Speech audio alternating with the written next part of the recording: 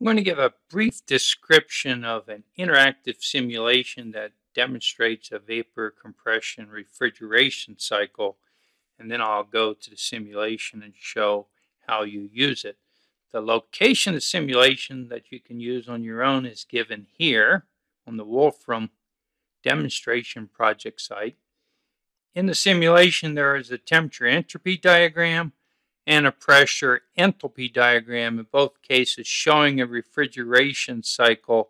So we're going to look at this cycle and we'll discuss as we change the pressures of the condenser and evaporator what happens to the performance of the refrigeration cycle. So let's go and now look at the interactive simulation. So here's the interactive simulation and what we're plotting we're first looking at the pressure enthalpy diagram where we have going from point 1 to point 2 we evaporate liquid, you know, liquid vapor mixture. We evaporate to have all vapor at saturation conditions. Then we raise the pressure with a compressor. The enthalpy, of course, increases going from 2 to 3 because we're putting in energy in the form of work. We raise both the pressure, therefore, and the temperature. Now, the high temperature vapor is condensed by losing heat to a lower temperature, for example, the surrounding ambient air. And we have a saturated liquid at high pressure. This high pressure liquid at 4 goes through a throttle so the enthalpy doesn't change. There's no heat transfer. There's no work done. But lowering the pressure also then lowers the temperature to maintain vapor liquid equilibrium. We have a fraction of the liquid, a large fraction that can evaporate. So now we have a vapor liquid mixture and we complete the cycle.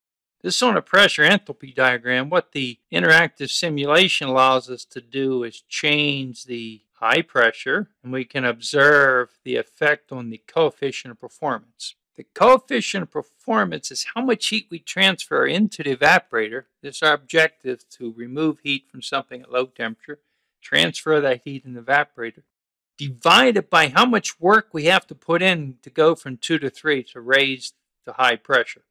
And so if we, of course, increase that high pressure value, we put in more work, our coefficient of performance goes down. But of course, we need the pressure high enough so the temperature is high enough so we can transfer heat to the surrounding. Corresponding temperature entropy diagram. Of course, for this calculation, we're assuming ideal compressor, so the entropy is constant. The entropy going through the throttle, the entropy increases, irreversible process. And again, we can change the behavior, change the pressure, and of course, if we raise this evaporator pressure, we raise the temperature, we're not getting as cold. But our coefficient of performance goes up if we're not getting as cold. And then finally, the simulation also shows diagram that describes what the various phases are as we go around the cycle and the important equations for that cycle.